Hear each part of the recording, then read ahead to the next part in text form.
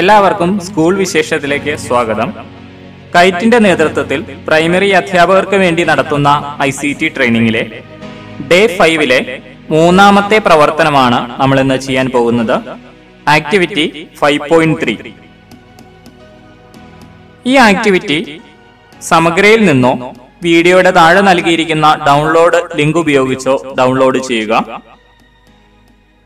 തുടർന്ന് downloads folder open ചെയ്ത് activity five point three dot zip എന്ന ഫയലിൽ റൈറ്റ് ക്ലിക്ക് ചെയ്ത് എക്സ്ട്രാക്ട് ഹിയർ എന്ന ഓപ്ഷൻ നൽകി എക്സ്ട്രാക്ട് ചെയ്യാം.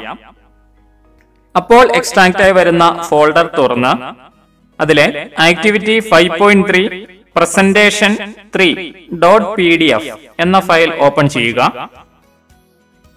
പ്രസന്റേഷൻ നിർമ്മാണം എന്നതിലെ മൂന്നാമത്തെ സ്റ്റേജിലേക്കാണ് നമ്മൾ കടന്നിരിക്കുന്നത്.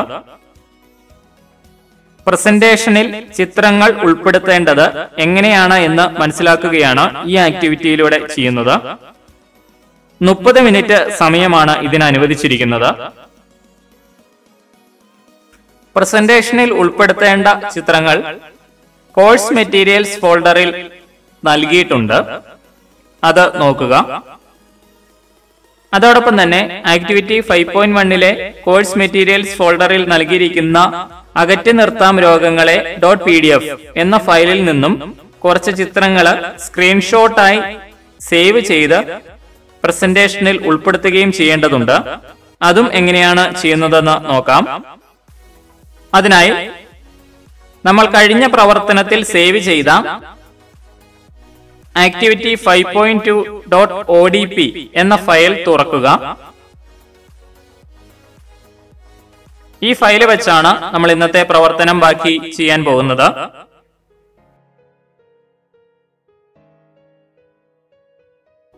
അതിനുശേഷം ആക്ടിവിറ്റി ഫൈവ് പോയിന്റ് വണ്ണിൽ നമ്മൾ സേവ് ചെയ്ത സ്റ്റോറി ബോർഡ് ഓപ്പൺ ചെയ്ത് നോക്കുക.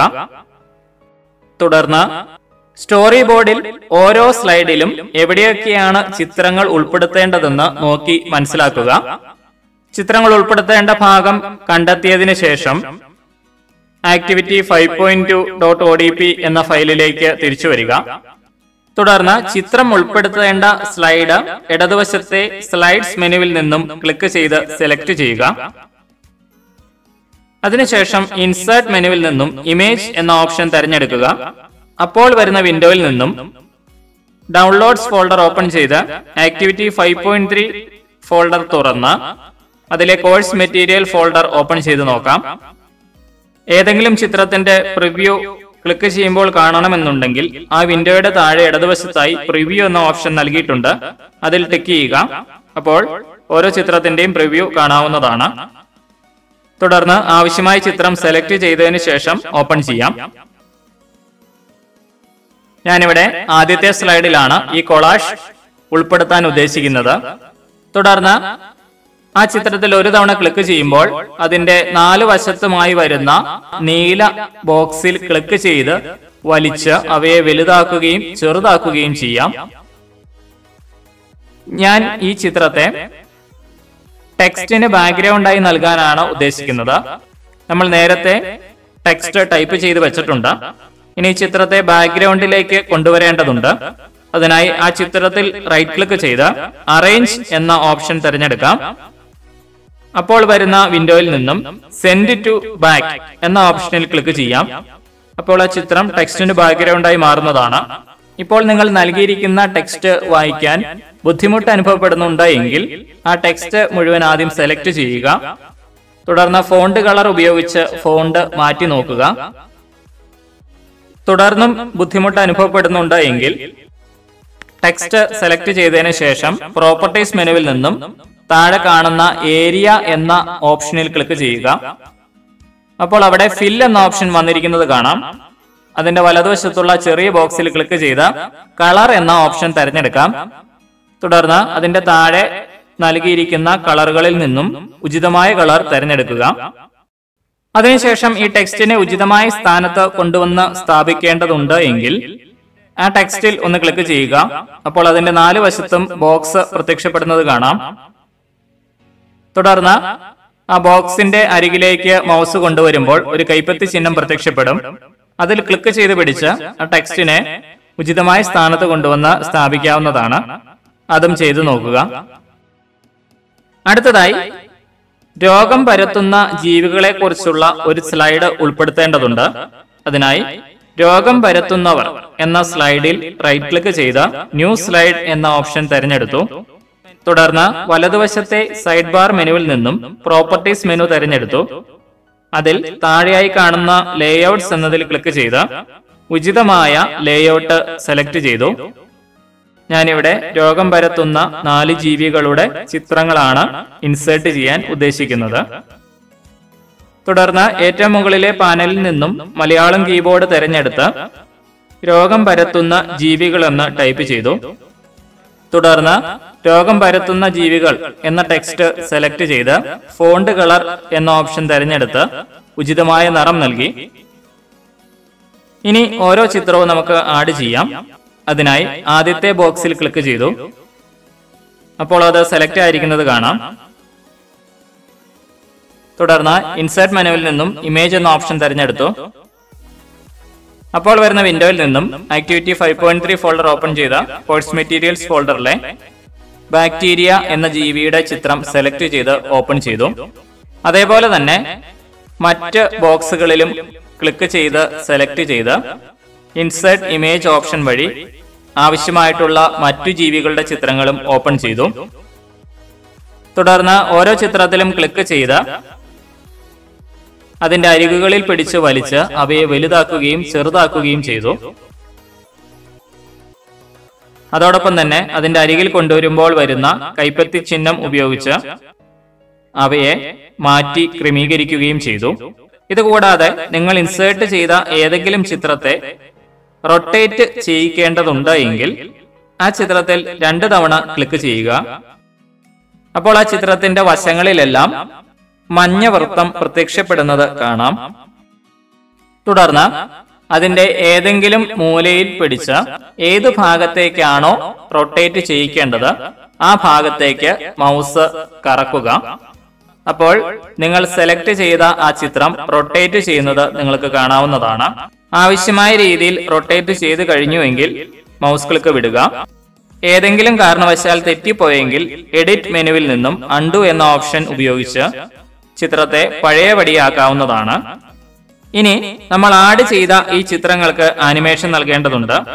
അതിനായി ഏറ്റവും ആദ്യം തലക്കെട്ട് സെലക്ട് ചെയ്തു. തുടർന്ന് വലതുവശത്തെ സൈഡ് ബാർ മെനുവിൽ നിന്നും ആനിമേഷൻ എന്ന മെനുവിൽ ക്ലിക്ക് ചെയ്തു. തുടർന്ന് എഫക്ട് എന്ന ഓപ്ഷനിൽ നിന്നും ഇഷ്ടമുള്ള ഒരു എഫക്റ്റ് ക്ലിക്ക് ചെയ്ത തലക്കെട്ടിന് ഒരു എഫക്റ്റ് നൽകി. തുടർന്ന് ആദ്യം വരേണ്ട ചിത്രം ഏതാണ് എന്ന് ക്രമീകരിച്ച് അതിൽ ക്ലിക്ക് ചെയ്ത ആനിമേഷൻ മെനു ഓപ്പൺ ചെയ്ത എഫക്റ്റ് എന്ന വിൻഡോയിൽ നിന്നും ഉചിതമായ എഫക്റ്റ് തിരഞ്ഞെടുത്തു. അത്തരത്തിൽ ക്രമമായി നാല് ചിത്രങ്ങൾക്കും എഫക്റ്റ് നൽകുകയും ചെയ്തു. ടെക്സ്റ്റിന് ആനിമേഷൻ നൽകിയത് എങ്ങനെയാണോ അതുപോലെ തന്നെയാണ് ചിത്രങ്ങൾക്കും എഫക്റ്റ് നൽകേണ്ടത് എന്ന കാര്യം കൂടി ഓർമ്മിക്കുക. ഇനി അടുത്തതായി സമഗ്രയിൽ നിന്നും activity five point one download ചെയ്ത് അതിലെ കോഴ്സ് മെറ്റീരിയൽസ് ഫോൾഡർ ഓപ്പൺ ചെയ്ത് അകറ്റി നിർത്താം രോഗങ്ങളെ ഡോട്ട് പി ഡി എഫ് എന്ന ഫയൽ തുറക്കുക. അതിലെ നൂറ്റിയൊന്നാം പേജിലെ ചിത്ര സൂചനകൾ സ്ക്രീൻഷോട്ടായി സേവ് ചെയ്യാൻ പറഞ്ഞിട്ടുണ്ട്. അതിനായി ആപ്ലിക്കേഷൻസ് ആക്സസറീസ് സ്ക്രീൻഷോട്ട് എന്ന ക്രമത്തിൽ ഈ സ്ക്രീൻഷോട്ട് ആപ്ലിക്കേഷൻ ഓപ്പൺ ചെയ്യാം.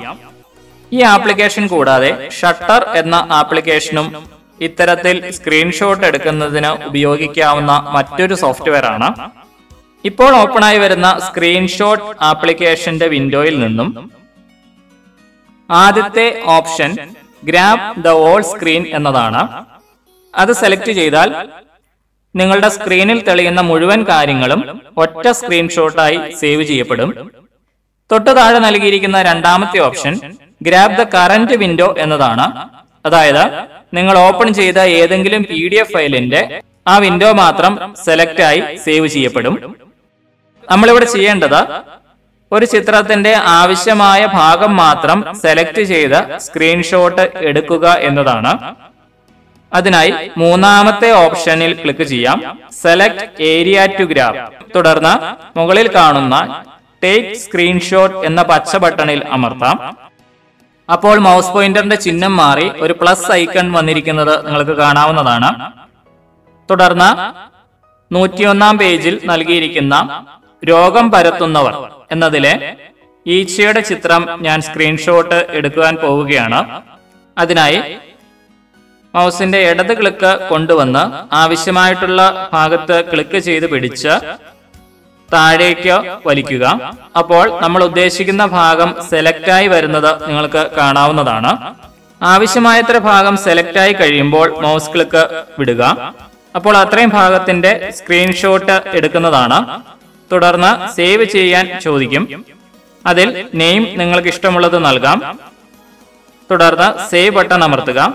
ഈ ചിത്രം സ്ക്രീൻഷോട്ടായി സേവ് ചെയ്യപ്പെടുന്നത് പിക്ചേഴ്സ് ഫോൾഡറിലാണ് എന്നുള്ള കാര്യവും അവിടെ സൂചിപ്പിച്ചിട്ടുണ്ട്.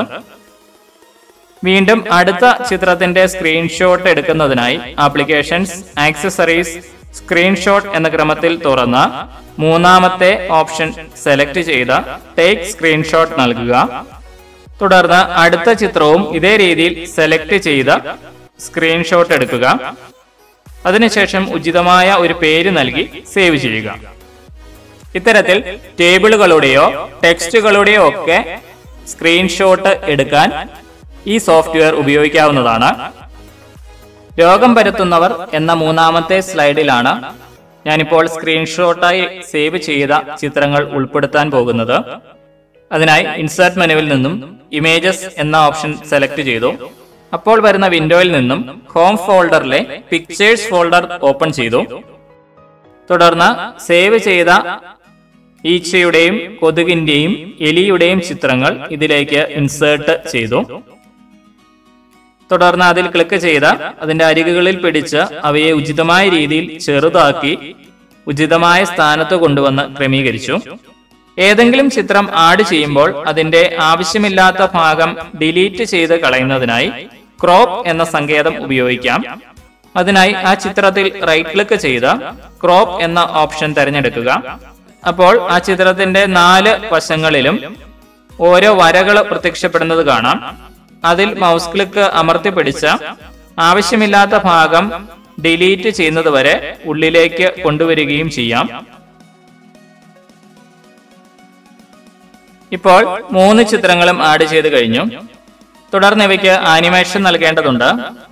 അതിനായി ഷിഫ്റ്റ് കീ അമർത്തി പിടിച്ച് മൂന്ന് ചിത്രങ്ങളും ക്ലിക്ക് ചെയ്ത് സെലക്ട് ചെയ്തു. തുടർന്ന് വലതുവശത്തെ സൈഡ് ബാർ മെനുവിൽ നിന്നും ആനിമേഷൻ എന്ന ഓപ്ഷൻ തിരഞ്ഞെടുത്ത് ഓരോ ചിത്രത്തിലും ക്ലിക്ക് ചെയ്ത് ഉചിതമായ എഫക്റ്റുകൾ നൽകി. ഇങ്ങനെ സ്റ്റോറി ബോർഡിനനുസരിച്ച് ആവശ്യമുള്ള ചിത്രങ്ങളെല്ലാം ഇൻസേർട്ട് ചെയ്ത് ആനിമേഷൻ നൽകി പൂർത്തിയായി കഴിഞ്ഞു. ഇനി നമുക്ക് ഈ പ്രസന്റേഷൻ ഒന്ന് കണ്ടു നോക്കാം. അതിനായി സ്ലൈഡ് ഷോ മെനുവിൽ നിന്നും സ്റ്റാർട്ട് ഫ്രം ഫസ്റ്റ് സ്ലൈഡ് എന്ന ഓപ്ഷനിൽ ക്ലിക്ക് ചെയ്യുക. തുടർന്ന് മൗസ് ക്ലിക്ക് അമർത്തി. നമ്മൾ നേരത്തെ നൽകിയ ആനിമേഷനോട് കൂടി ചേർന്ന ചിത്രങ്ങളുടെ ആനിമേഷനും മാറി വരുന്നത് നിരീക്ഷിക്കുക. എന്തെങ്കിലും തിരുത്തലുകൾ വരുത്തേണ്ടതുണ്ടെങ്കിൽ വീണ്ടും പ്രസന്റേഷൻ ഓപ്പൺ ചെയ്ത് എഡിറ്റിംഗ് നടത്തുക. തുടർന്ന് നമുക്കിത് സേവ് ചെയ്ത് വെക്കാം. അതിനായി ഫയൽ മെനുവിൽ നിന്നും സേവ് എന്ന ഓപ്ഷനിൽ ക്ലിക്ക് ചെയ്യുക.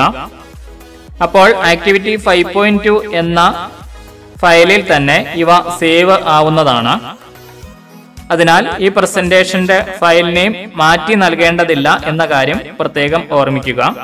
ഇത്രയുമാണ് ഡേ ഫൈവിലെ ആക്ടിവിറ്റി ഫൈവ് പോയിന്റ് ത്രീയിൽ ചെയ്യാനുള്ളത്.